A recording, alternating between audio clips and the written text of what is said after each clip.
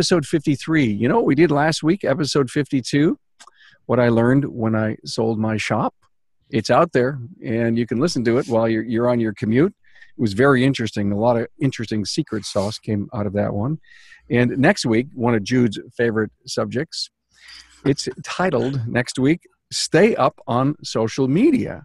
What do the Facebook changes mean to your marketing campaign? And, and also something very interesting. Watch for this soon. The podcasts are going to be available for credit on AMI. We've uh, already got six of them submitted, and uh, you're all going to hear about that real soon. So I'm excited about that. Hey, everyone, glad to have you here. And uh, what's what's exciting always exciting is to uh, welcome Jasper as a supporter of the Town Hall Academy. You know, your customer's old engine or transmission is going to wear out, and when that and when that day comes, Jasper will be the name to remember. Jasper's re- remanufactured products cost considerably less than a new vehicle, so it just makes sense to choose Jasper for your customers' drivetrain solutions. Thank you, Jasper, for your support of the Town Hall Academy. I'd like you to meet Jude Larson, shop owner from Valley Repair and business coach consultant from JML Real Solutions, and Darren Barney, owner of Barney Brothers Off Road in Grand Junction, Colorado, and Donnie Carter, service manager at Little Wolf Automotive in Waupaca, Wisconsin. That's uh, close enough, yeah. Waupaca, How would you Wisconsin. Say? Waupaca? As some people say, Waupaca, uh, Waupaca, that'll, that'll work. Cool. Glad to have you here, guys. Um, interesting topic improving communications between the service advisor and technician. Jude, I want to ask you I've heard you say before uh, shifting and thinking from playing with a hot potato uh, with repair orders. Uh, why should we work hard to produce a masterpiece RO? Sure, Carm. Um, typically what I see happening in a shop, and I've I've done this myself when I was a service advisor. Um, it's sort of the mentality of I need to get rid of this. It's not my problem anymore. And so the advisor gets, you know, this this problem in front of them and they're just like, "Oh man, how fast can I get rid of this thing?" And so they do the minimum effort that they think they can get away with and then they just toss it to the next person who's responsible for it. And uh, then the same thing reciprocates back and forth and it's everybody doing the minimum and it just continues to kind of degrade to a point where um, the product is very very inferior. And what um, i actually learned this years ago when i was uh, doing mortgage brokering. I met an individual who um, he would turn in uh, most people would turn in a loan file that was just a pile of garbage. I mean it was just papers and they were basically hoping to, i think confuse the underwriter into approving the loan. Like they just so overwhelmed them with the, the huge pile they had to go through they're just like i don't know just push it through whatever. But what he would do is he would he would write um, this like like masterpiece novel how to i mean it was just beautiful. Every single item in there um, was perfect. He would leave instructions for anything that had a question about it. And so the underwriters got to uh, know his files so well that when they saw one come across the desk, they would go, Oh, look, it's one of Neil's files. Oh, this is making my day. And they'd put it down. They were super excited. They'd go through it. It was just beautiful. No question. I mean, it would just, it would fly right through. And when I saw him doing that and I saw uh, the results he was getting from that, a light bulb went on and I went, oh my gosh, that is where it's at. That's where you need to be. And then fast forward, moving into the, you know, the automotive uh, or back into at that point the automotive industry, I see the same thing. That typically think, like I said, things are just thrown to it's your problem now, not mine, and then you you solve it, and they do the minimum. Versus, you know, if you if you walk out or, or push the button to send the you know, repair order to your technician, and they are used to getting an absolute masterpiece from you. There's no questions. They don't have to come in and ask what's going on with it. What does this mean? I don't understand. You know, my favorite, or well, not my favorite, the opposite of my favorite is when they get an RO and it will just say like advise. Like, what do you do with that? You know, it's like, and and then you you know you got on there you're gonna you're gonna charge your customer you know 150 or 300 bucks or whatever it is to advise. I mean what what you know there's no information. So they're just running down and then if they don't bother coming back and asking questions they're running down a rabbit trail after something. And you know they may hey i diagnosed it. Well, what'd you diagnose? This thing. Well they were curious about that thing actually. So you know it just it just causes all sorts of mayhem. I so love it. You, a masterpiece. Don uh, you yeah. agree with that? Well there's the approach is i think we start uh, you know at the counter with our customers and it's up to us to bring that masterpiece to our technicians presentably so they can um, they can do their best to work with us. It, you know it starts when you st- uh, from the technician standpoint in my opinion i've never was a technician but i've probably worked with about 75 in my career. And the one thing you always know from a technician is right away when we start our morning we have to have as big and as is as perfect of a game plan that we as advisors or managers can put out there for them. It's never going to be perfect. We all know that in the course of a day, but I believe that these technicians if if they have a certain path to follow on each and single every single day that the results will be much more favorable than if they're they're throwing a dart at a dartboard. Now, Darren, he just said something very interesting about start in the morning. Is there a important part of your day that engages your whole team as a good start in the morning? There is, and something that uh, we do every morning at the shop, and it's great. We have everybody at a morning meeting and it's a short little meeting, but we just basically go over the day. And so we talk about uh, each one of the technicians and what uh, their individual jobs are, any concerns that uh, may need to be addressed with the vehicles, and then we go over uh, any other things that uh, need to be brought up. Works really well though because it kind of creates a, a feeling of camaraderie and helps everybody to kind of be on the same page so that when a guy drops off his vehicle and you know that last time he was in he wasn't taken good care of um, it helps out that the guys on the counter can then give him a little extra love and, and, support. Or we know that this person has to be done by 2 p.m if everybody's on the same page when that customer calls and says hey what's the status of my vehicle? everybody knows oh yeah you're the one that needed to have that back by 2 or whatever it may be so, I mean, I think that's one of the big secrets to creating a successful shop is having everybody together in a meeting together. Even your UPS or your will call person, whatever it is, everybody is all on the same page because that UPS or shuttle guy then is aware that this guy once again had a bad experience last time, so he gives him a little extra love. Just kind of helps to get everybody to, to tailor that good customer experience. Interesting. Um, Donnie, uh, to motivate techs to produce billable hours, do you have to have that masterpiece and novel? I'd like to see. I'd like the guys to see the product. excuse me, to see the game plan. Um, and and one thing is, we we try to present a competitive uh, uh, element to this. Um, me personally, I'm com- very competitive, uh, and I I I hope that my technicians um, are competitive as well to a certain extent, where they can see the, the top of the mountain. They they can see where we want to go and it's not just gross profit it's not just looking at all these numbers but it's at the end of the day the end of the week end of the billing cycle and, and payroll cycle that i did this. And i think it's important to um, to, to our technicians of today because it, it is let's face it all across the, the, the, the country there's a there's a shortage. And i think if we can put this back where um, there's uh, accountability from their side, and, and accountability is a big word. Uh, be, for the standpoint, these some technicians don't worry about it. The guy at the front, he'll take care of it for me. No, we're all in this together. I think we all got to uh, know our game plans, and I think the, the, the accountability aspect of it puts them in in in a, a, spot where these guys are trying to succeed even more every day. They see the numbers, the big jobs, they see the little jobs. They know it's on them to get this work done, but they know they have help behind them to achieve those goals. Guys, you know, when I looked at this subject and then I, then I looked at your talking points, I couldn't help but distill it all down to is digital an important facet of improved communications? I think it's going to continue to become more and more so.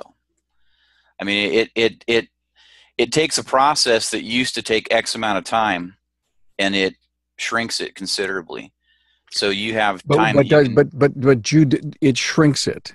But is it clearer because you're forced to check a box or write something? Because I, I met someone a few weeks ago that purposely built a brand new facility where the service counter and the bays were very far from each other, hmm distant.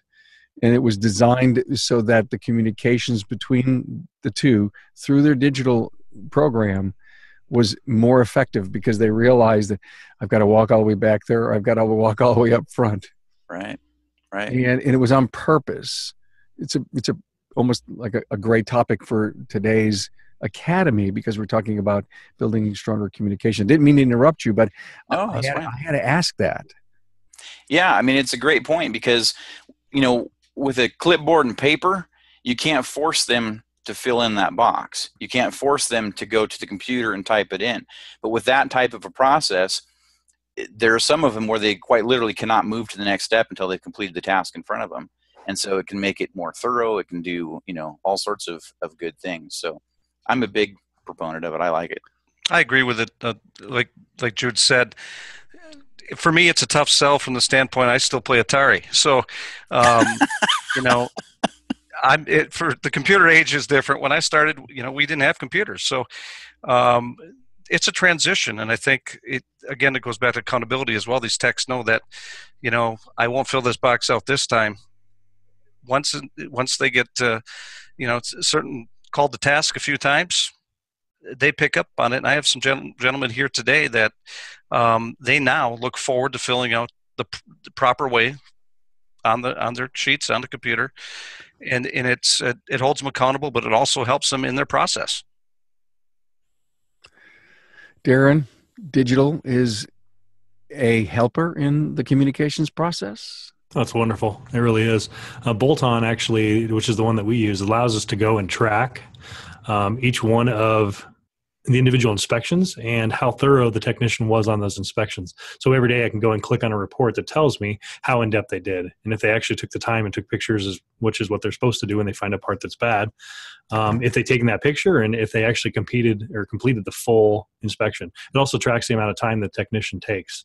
So it's nice to know that hey, how did you do a you know a good inspection on this 71 Jeep um, in in five minutes? There's no way.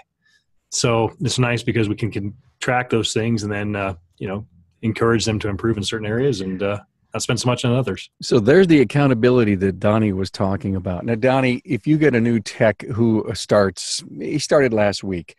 Could you give us an example of what you would do in in an uh, orientation process that would start that communications? You know, Well, I think anybody that's new at anything has to get comfortable with the surroundings, not just in the digital aspect of it, other technicians they work for, where to uh, acquire um, shop materials.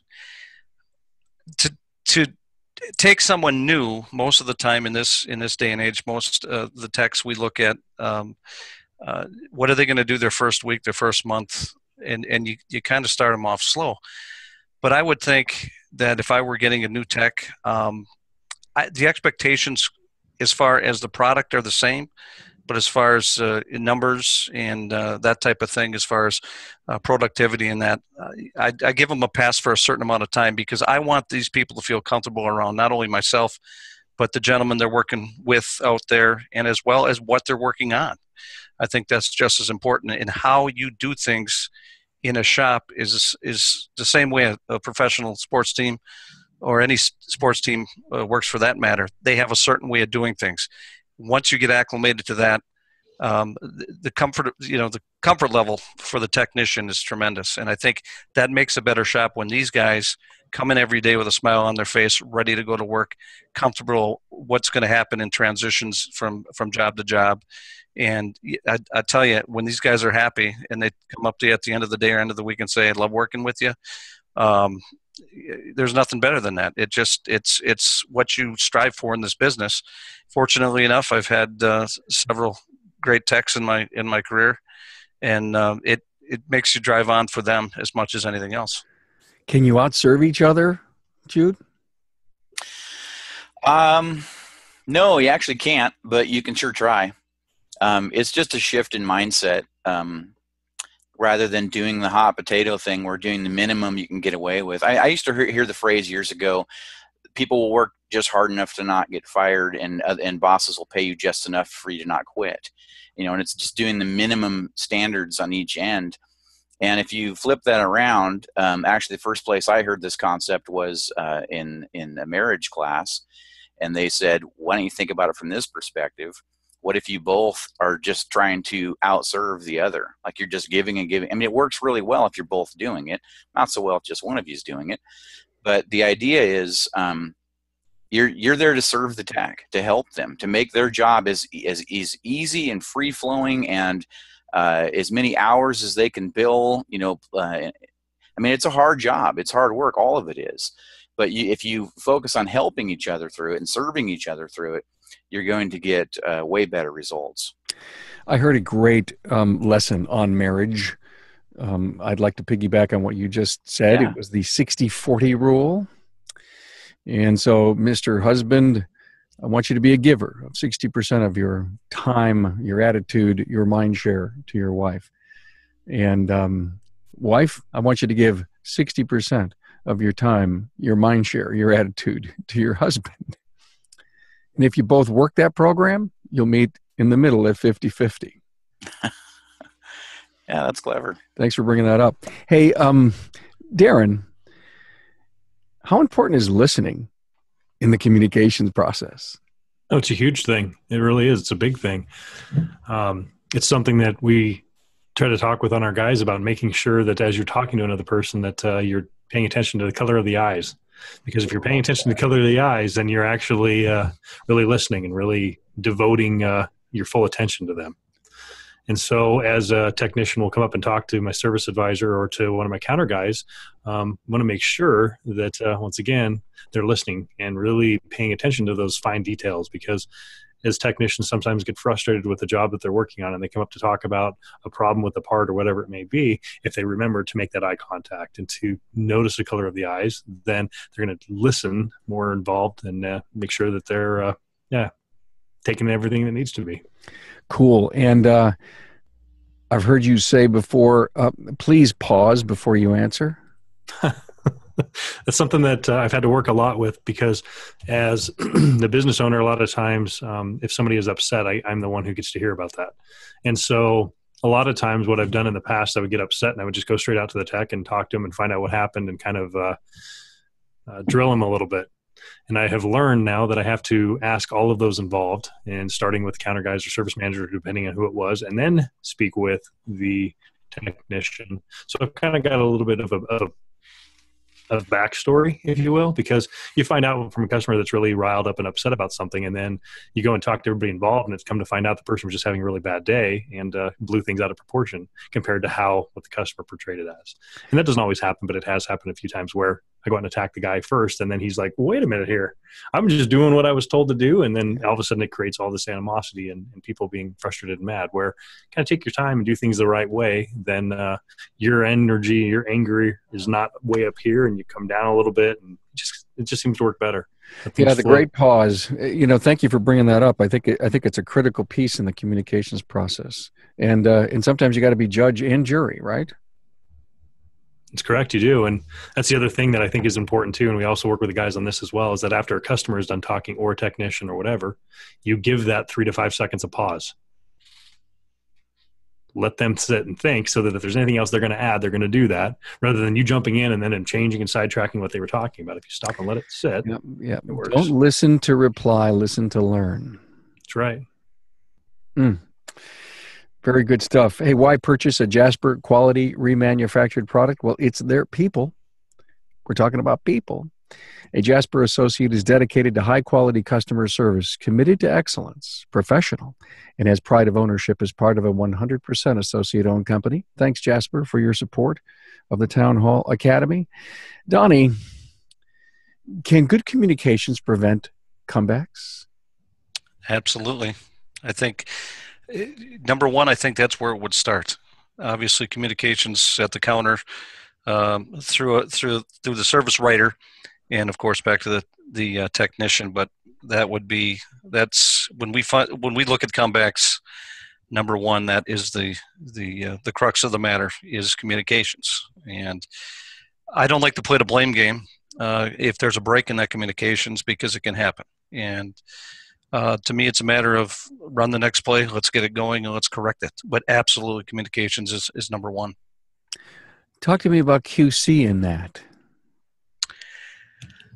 Well, I think again it brings back accountability from the technician, and if he has any questions, to come to me or come to the service writer who is handling that case. Um, and I always leave an open door for communications with my customer because at the end of the day, we we're working on it, trying to get the same goal, to achieve the same goal, and that is complete a repair uh, with everybody on board, making every, all the parties happy. And that may require some more information from a customer, which I have had no problem in the past.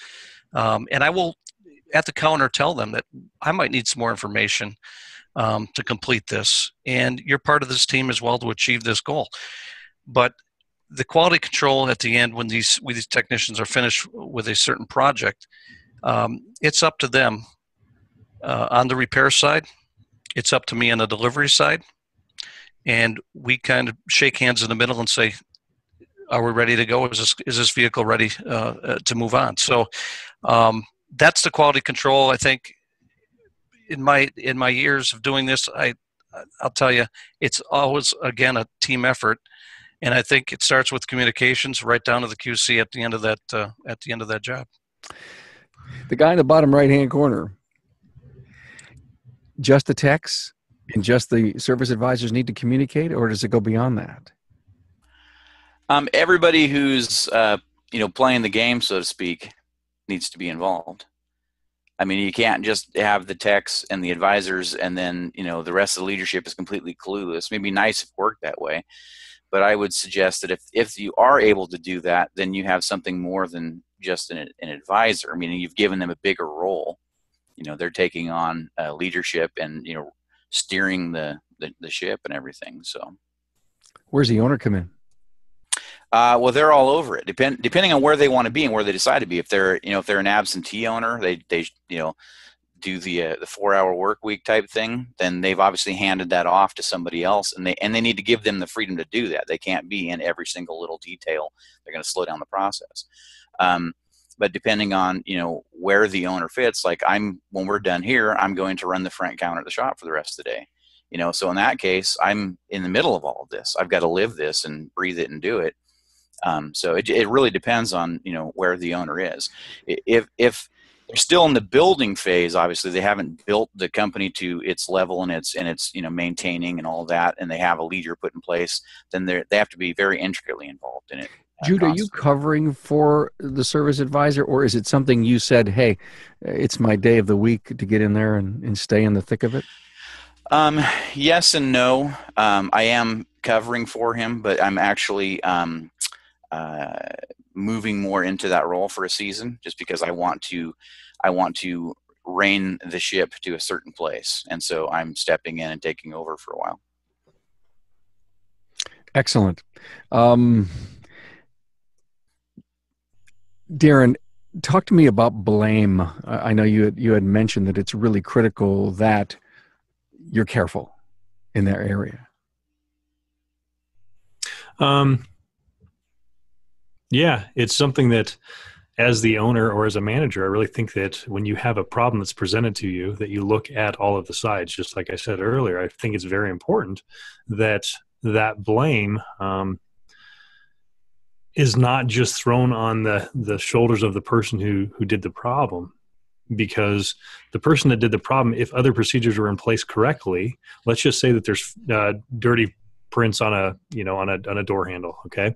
If the technician did not wipe that down after he was done sure he's at fault but it's also the fault of the person that second checked that job or the person that walked out there with the customer to give them their vehicle keys. So therefore it's not necessarily just that technician's problem it's everybody's problem for not catching it in all the following steps.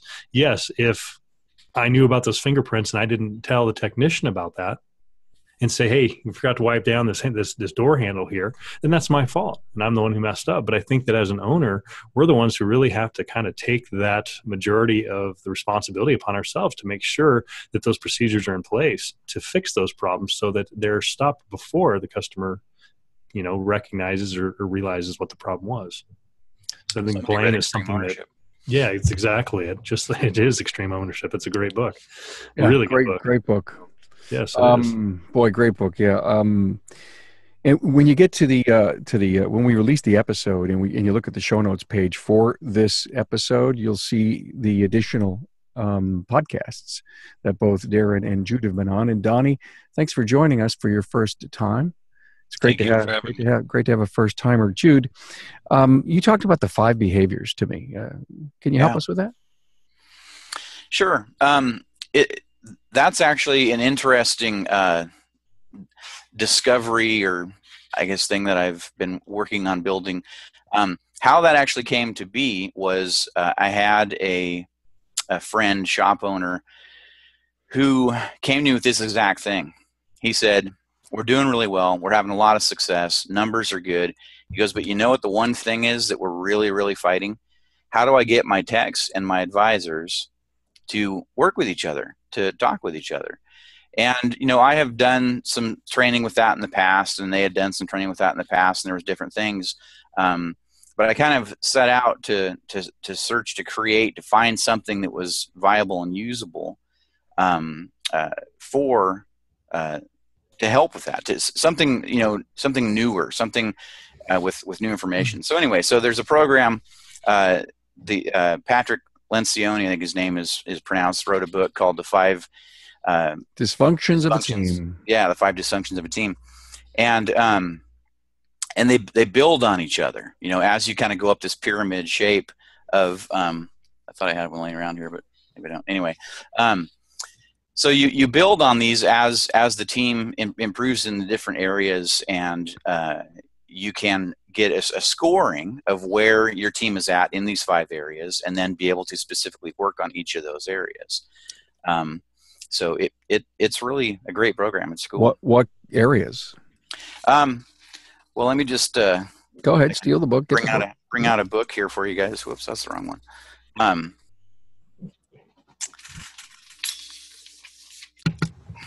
ah, these are all empty. Hey, I listen, while you're pull out. doing that, while you're looking for that, Barry Barrett Yes. asked us a question. He's on the Zoom platform with us. Barry, Barry, yes. right Any on. active listening techniques that you suggest? Active listening techniques. And I'll and while you're looking, I'll ask that question to Darren and Donnie. Perfect. Go ahead, Donnie. Who let him in? Uh, uh, active listening techniques. Boy, oh boy, I've you know listening is not my strength. I'll be honest with you. Uh, listening, uh, I'm I'm a talker, um, and Does that direction. make you? Uh, does that make you a really good service manager then? Um, I, I sure hope so, and I sure try. Um, yeah, I think listening, the actual count of, like I said, count to three to five seconds or a couple minutes, and concentrating. I'd like the eye, uh, the eye test where you, you look at the color of someone's eyes just to listen to someone's voice. Um, if you ask my wife, I'm probably not a very good listener at all, but uh, I still know the color of her eyes. But After she tells you this over and over, Donnie, uh, and she starts testing you. What did I say? Uh, yeah, yeah, honey. Yeah, yeah. Okay, sure. And you're answering things you have no idea what you're answering, right? that's yeah, that's after 30 years, that's kind of how it works. Well, and you know, to to add something to this though that I think is really critical is that if you try to remember that whoever you're talking to is the most important person in the world right now, in your world right now, it really helps you to focus in and they can feel that. Absolutely, I You agree know, with that. 100%. If we just do that alone, that That's right a- there is going to make It's a a huge great technique. Great Yep. technique. You are the most important. Look him, look him in the eye. Find out the color of their eye.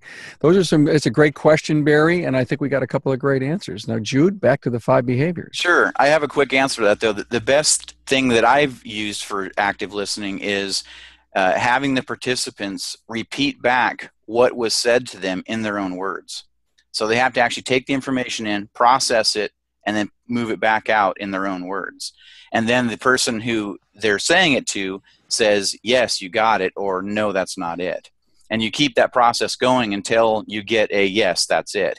And it's funny because if you're if you're trying to de-escalate something, for example, and using active listening to do that, as you go back and forth, I'd be surprised if you made it twice back and forth without that thing being resolved. Because active listening is it's very very powerful. It, it's because so often the conflict comes from what? From us not communicating well, not understanding. I thought he meant this. I thought they meant that. But in reality, they meant something completely different. So great, great question, Barry. Um, and and by the way, a very good answer. Um, my friend Barry offered up six active listening tools. Now, Barry, my friend Barry needs to come on and do this with us You know, here they are effective pauses, minimal encouragement. Uh, I'm sorry, minimal encouragers, mirroring, which is really cool, paraphrasing, which you just brought up, Jude, summarizing and labeling. And I'm sure there's some really good, deep stuff behind that, Barry. Uh, now that uh, Barry brought that up, we may just have to um, do something with that. So back to the five behaviors, Jude. Yeah, you bet. That's a that's a whole program in and of itself. It is. You could easily spend that. So I don't know how well everybody can see. This is actually off of a class that I taught last weekend. But these, this is the five behavior pyramid kind of stacked up, and it gives a scoring in each one showing where this particular team scored in these areas. And so you've got you know green, yellow, and red. Red obviously being problems of uh, concern. So how they stack up is the, the the base or foundation is in trust. So if the team doesn't have trust in each other and the owner and you know everybody that's in that participate uh, that's participating on that team uh, you're kind of dead in the water from the gate. I mean it's really difficult to, to build from there. So the second step up is conflict. How do you use conflict properly? You know uh, how it's used to get new ideas and be creative and things like that when it's being when it's being used properly versus oftentimes what happens is it just shuts down just conflict is it just shuts the gate and nobody does anything. So there's also commitment, uh, and I can't go into all these. I know we have time limits. Accountability, which is huge. I mean, that's like the number one thing with just about all shop owners is they say, "I need accountability, I need accountability, I need accountability," and then finally that all leads to the results. And so these all build on each other to make this, you know, pyramid like the old food pyramids or whatever. This is the successful team pyramid. So, and that's based on, uh, like I said, Patrick Lencioni's stuff. Yeah, it's a great book. It's a good read. It's it's uh, it's perfect if if you uh, if you're leading a team. Um, good stuff, Jude. Thank you, and thank you, Barry, for your stuff. Uh, Donnie, can good communications help you manage your bays better? Absolutely. Um, you know, it's their world out there. Uh, the technicians, it's their playpen, and uh, fortunate technicians have more than one one bay to uh, to play in, so to speak. So, you know, if if we start out that morning, like Darren said, with that base communications of how our day should go, um, we've seen throughout the years that uh, the productivity goes up when these guys understand that uh, they can bring an automobile in, shake it down, do what they have to do there, um, with with the, the knowledge in the back of their head that they can bring a second one in. Typical things have been going on for years in the automotive business with that, but they understand that it's it's the productivity part of it comes in where they can manage their time and and with that their space. And I think um, I might be very lucky or um, you know, I don't know what are what the words to put in place there, but I have, technicians uh, even here that are fantastic with that. That we we kind of know uh, which you know what we're thinking about as far as our game plan of of the bays, and uh, I think in every shop. Um, I know uh, Darren and Jude would know that you have a, a certain dollar number for every bay that's that you have in your building, and um, I think one, one thing is if the techs understand that this is what this has to produce, um, their productivity goes up because they know when uh, when to deal with each one, each bay or each one of three, whatever they need. Donnie, as the service manager, what kind of questions do the techs come to you with? Well, from tools to uh, when are we going to get air conditioning in the shop um, to uh, what time should we do lunch? It there it varies. There's there's questions that are uh, sometimes even personal um, which is a good relationship in my opinion. I think if you can share uh, outside the lines of your business i think it, it creates a family atmosphere. And i think the technicians um, have to have we talk about the five levels and, and the trust level. Boy that is that gets the ball rolling. That's key. If you have the trust level um, of a brother of a sister dad whatever. I think we all understand that, that that's a concept um, not necessarily a role model but a concept that when you come to work in the morning you know everybody feels more comfortable. And the, the questions they ask you uh, i mean that that varies. It most of the time it's it's based on uh, um, you know they're not I, I tell these guys i don't need to hear questions about how to fix it. I want to know how you are going to repair this and i'll handle it from there. Um, those are the questions i need and and to understand and accept our roles in that is is basically what they're our conversations exist every day in that in that regard. Do you have an open door policy with your team? Absolutely. Nothing else but. I think everybody's got to be on the same page with that. Um, it's like I said before earlier in the in the show, it's goal orientated. It's goal orientated. We have to have the same mindset, the same goal. That uh, every every vehicle, every customer is precious to us, and we got to take care of them. If we can't get that in our heads, we might as well not open the door in, in the morning. Darren, trust and team building. Are there any things that you can do? Of course. Um, basically, I think once again we're getting back to respecting others and really listening to and valuing their input. Um, we have to uh, cultivate a uh, environment of of openness and, and listening. You know and that's something that i wanted to go back to that what Donnie just said a minute ago that you have to have your minimum levels of acceptable performance for you know each position in your company. And you and they have to know what is expected of them but we also have to respect them as people and individuals as well. And so i think it's important that as we strive as business owners as managers to try to get each one of these areas to really produce where we want them to we also have to pay attention to the personal needs and you know morale of the company. Because if we're always focused on the numbers and it's like why aren't you producing your 40 hours a week or whatever it is that may be? And yet you got the superstar that's going through a divorce or some other hard times in his life and that those numbers are going down. And if you're just looking at the numbers you may lose this strong awesome guy that uh, is a good member of your team but right now he just needs a little bit of watering and a little bit of nurturing and and taking care of and a little bit of hey do you need to take some more time to do what you need to do? And then you take care of that and then he's back to being your 50 hour a week guy. I mean it just depends on you know there's such a it's a juggling act. It really is of trying to make sure that we're maximizing those positions and yet still taking care of them as people as well. Because i think you know i've heard it numerous times from people that you know relationships are what makes us who we are and those relationships are what's going to carry us through the hard times or through the good times. And relationships are critical. That's why we're here upon the earth is to establish those friendships and bonds with others. And so the numbers are important but friendships are important too. People are important. But i think he you get the nail on the head. You know it's, it's still a person on person business whether it's person in, in your shop you're working with or a customer. It's still people yeah, it's absolutely 100% true. I mean, it, it, everything on planet Earth works based on relationships. And the numbers are an indicator of how your relationships are, right? I mean, that tells you what's happening. If the numbers are good, you're probably doing the right things in your relationships. I don't think you could do like just destroy all of your relationships and have your numbers just, ah, oh, my numbers are fantastic because I focus on them all the time. No, you got to focus on the people. I mean, I think all of the trainers in the industry will tell you focus on serving the people and the numbers will line up. I need to know what the numbers are. I need to monitor them and make sure that they're doing what they're supposed to be doing. But you have, but you can't, like you said, Darren, you can't focus on the numbers. The numbers are never going to get you where you need to go. The people are going to get you where you need to go. You have to focus on the people. Yep.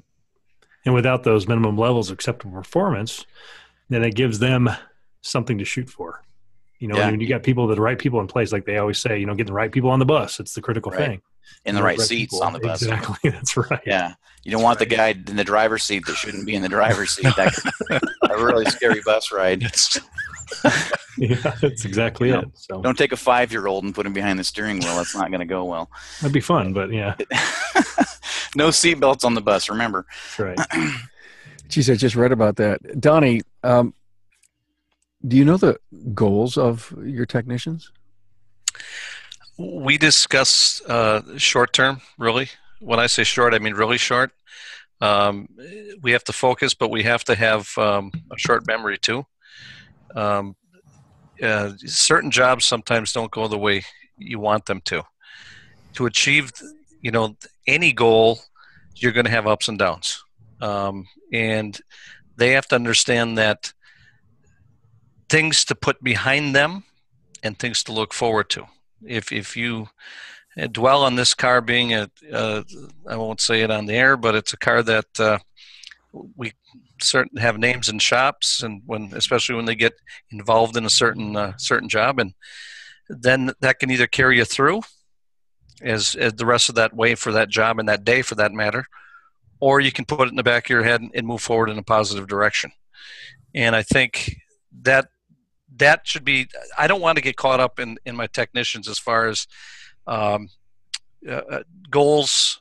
You know, I, I want to get 60 hours booked this week, 70 hours booked this week. Um, I want them to start off and do the right thing.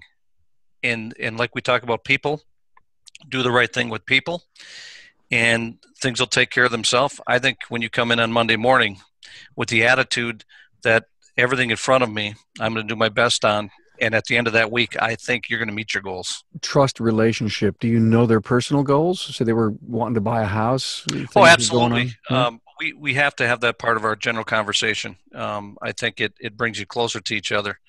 And, uh, you know, that's here at least um, in other places I've been at there, that's been a common thing. It, it, casual conversation on, on goals and, and people and, and general interest are very key and very vital. So, as a service manager, you have to purposely find the time in your crazy schedule to build that relationship, to get to know about what's going on in their world. Well, it's a, absolutely you got to know you got to know uh, likes and dislikes, um, wants and needs.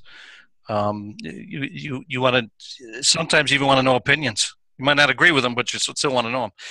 But yeah, to get in someone's head and uh, understand how they tick, that's important. Uh, I think um, as a manager and owner, um, that's why you sit down and, and, and interview uh, somebody two, three, four times sometimes. Uh, you have to know what makes them tick, what drives them to the next the next level to make everyone successful around you. And that's important to care about every single person that you're involved with in that business and including your customers, your clients. Excellent. Now, Jude, uh, what with what Donnie just said, it's all about different personalities in the team and, and how to manage it.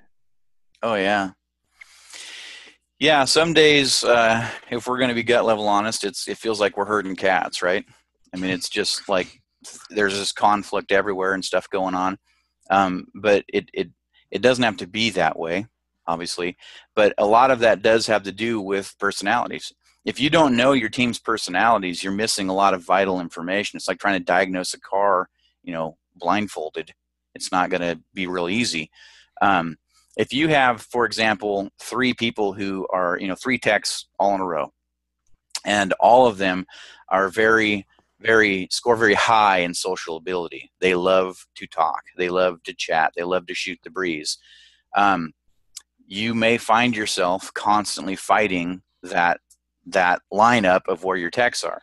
So uh, y- you can sometimes make um, decisions based on where you're putting people. You may put an introvert in between two extroverts right? So that you can you can mix the, the the flow of the shop so that these guys will can stay a little more focused. Because when you have three working together all distracting each other it can be very challenging to you know get the job done and stay focused you know, unless you're walking back and forth in front of them constantly saying okay keep going keep going keep going um, and the same th- you know same thing if you have personality up, up up front that's dealing with all of your customers coming in the door and they're you know like an Eeyore or something, um, that's not building a um, a positive image you know of your company. Um, people need to be you know just in answering the phone. I know you did a great show some time back, Carm, on um, what do you do when the phone rings, and if you know if, if they're picking up the phone going. Valley repair, I have to be here. You know, um, that's not going to do well. As opposed to uh, you know, answering the phone with a positive influx. Valley Repair, how can I help you? You know, you're ha- you're positive, you're happy, you're excited that they're calling you. You know, what can I do to help you, kind of thing. So you need to know those things about your people and about how they mix together. And I think you need to train them on how to interact with each other because a lot of times you'll have people who will be having conflict and they don't realize that what that person is doing isn't personal. It's part of their their their mindset. It's it's just who they are. And so I've seen instances where you, you've done that type of education with somebody, and the conflict went away, and you and you you go back and you ask them, oh well, did they stop doing that behavior? And they're like, no, I just realized it wasn't a personal attack on me. It's just part of kind of who they are. And so I'm okay with it because it's just their personality, and they learn to you know to work inside of that. So, so, yeah. how do we learn about all these personalities? Where, where is there a, a, a test to take? Oh yeah, there's lots of stuff. In fact, if you want, Carm, um, I'll give you. I have a like a little five minute one you can put up. That's it's it actually works pretty well.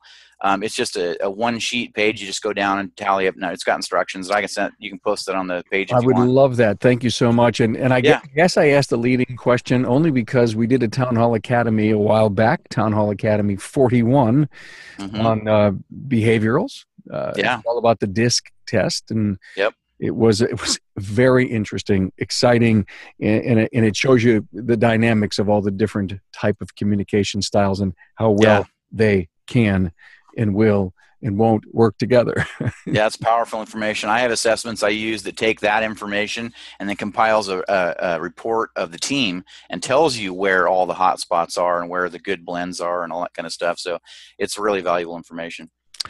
Hey guys, um, thanks so much for this. Uh, I love how you've tied all this together. There's another reason to choose Jasper Engines and Transmissions. It's their commitment to continuous improvement their investment in research and development, product updates, and remanufacturing processes means Jasper provides the perfect product. Been to the plant, saw the hard work that they do there. Excellent company. Thank you, Jasper, for your support of the Town Hall Academy. Hey, listen, I've really enjoyed this, and I want to go around the room and give you guys one last shot, some great words of, words of wisdom on improving communications between the service advisor and the technician. Donnie, I'll go to you first. Well, I think uh, first of all, I want to thank everybody here on the on the panel today. Excellent job, great insight. Um, I, I, would say the number one thing is uh, keep keep an open keep an open mind, um, and be goal orientated uh, as far as each day. Um, we don't know if we'll get another one, but each day, just kind of an, embrace the people you're around uh, from the people coming in your building to your technicians, and and let's all help one another out. And I think we can uh, achieve those goals uh, along the way. I think it'll work. You're from Wisconsin, right? That is correct. You're a Packer fan. I'm a football fan, but yeah, I'm a Packer fan. Yeah, I've been around the game a little bit, so it's uh, I enjoy it. Um, I love sports in general, but yeah, I'm a Packer fan. But uh, uh, if there's a game on it and they're not on, I'll still watch it. Trust you're, me. You're a football guy. All That's right. right. Hey, thanks so much for being here, Donnie. Appreciate it. Thank you. Appreciate yeah. it. Okay. Thank you. Darren, your final okay. words. um, I think one thing that we've missed that I really uh, feel is important. I don't know if it's the best thing to end on, but I think it's really important is that the service writer, or in our count, in our world, our counter guys, um, are very descriptive on anything that the customer wants to be done, whether we're addressing a problem or doing a diagnostics or doing whatever it may be, I think it's very important for us as service writers or managers or counter guys to get the most description from the customer and put all that into writing, even though it looks like you're writing a book. But that way, when that technician has that, that's going to clear up so many of the, the, the mud and the misunderstandings that happen. And the wasted time of going back sending it back or walking back up front. If we just take the time to really listen to that customer and put all everything in down in the best description that we can it's going to really eliminate a lot of the problems. Because if that technician knows that Mary is very particular that she says there's a strong pull to the right when she's going above 45 miles an hour on this certain stretch of road. If we don't put that in there and the technician just says, well, you know, I'm looking for a pull to the right. So he goes and spends an hour test driving. And then Mary's upset because you're billing her for an hour of diagnostics where she says, well, I told you when I dropped it off that it's at 45 on this, set, this stretch of highway on the on ramp. And so it's so critical that us as once again as owners service writers managers whatever that as we are overseeing or doing this that we get that most description that we can because it's going to help those technicians out it'll help to make them happy so, I love it. I, I, think in concepts, and as you were telling me that, Darren, all I could think of was how could I teach my service writer to do that? It would be write the novel. Yeah, that's exactly in my it. mind. Okay, it would be like write the novel because well, you're walking by and you're hearing the customer go go go. Write the novel.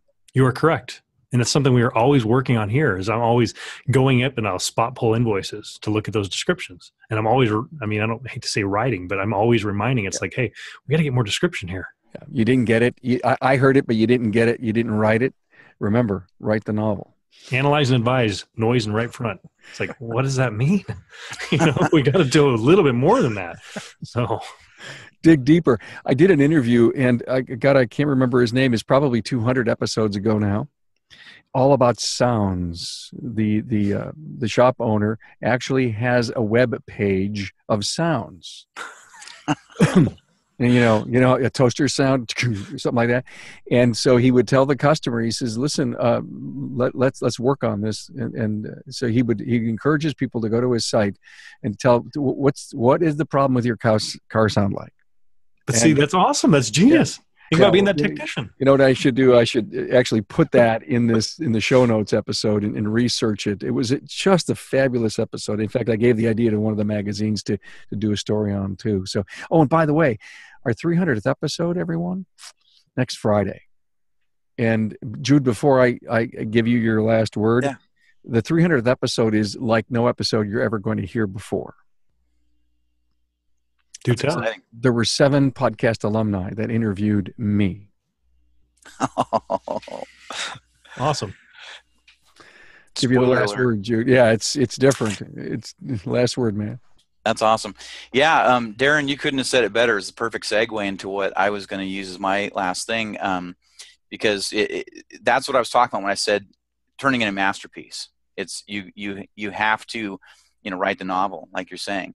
Um, one of the things that i that was that i did when i was an advisor um, to learn this was we played something called the silent game. And the owner uh, was brilliant enough to, to bring out a stack of $100 bills and said everyone can win. Everyone who does this today gets a crisp $100 bill at the end of the day and all you have to do it's so simple it's so easy is you have to use no verbal communication with each other for the whole day do the same job you do. You can't you can't jeopardize a job. You can't have something late or delayed or put off or whatever. You know, but no verbal communication. And so today, probably the equivalent would be with with digital inspection is you know no messaging each other. It's all in the RO. All the communication is in the RO, back and forth between the tech and the advisor. And let me tell you, when you do that, you learn very fast where the holes are, where the problems are, you know where the hot spots are. Um, but it, it's one of those things that if you are brave enough to try it um, it will uh, rapidly change the way you do uh, your communications and, and and writing that novel writing that whole story and the masterpiece in there because it's got to be there or you're never going to get past you know anything. Love it thank you. The silent game. I love it. Thank you. This was this was excellent. Um, I think you tied a lot of great loose ends, the 360 degree communications uh, package here, and between the um, between the service writer and the technician. Thank you so much to Jude Larson, shop owner at Valley Repair and business coach consultant from JML Real Solutions, and Darren Barney, owner of Barney Brothers Off Road in Grand Junction, Colorado, and new to the podcast, Donnie Carter, service manager at Little Wolf Automotive in Waupaca. I think I said that right, Wisconsin. Guys, have a great weekend. Thank you for getting all ships to rise in our industry. Appreciate your input. Thanks, Thank Carm. you, Carm. Thanks, Carm. Thanks.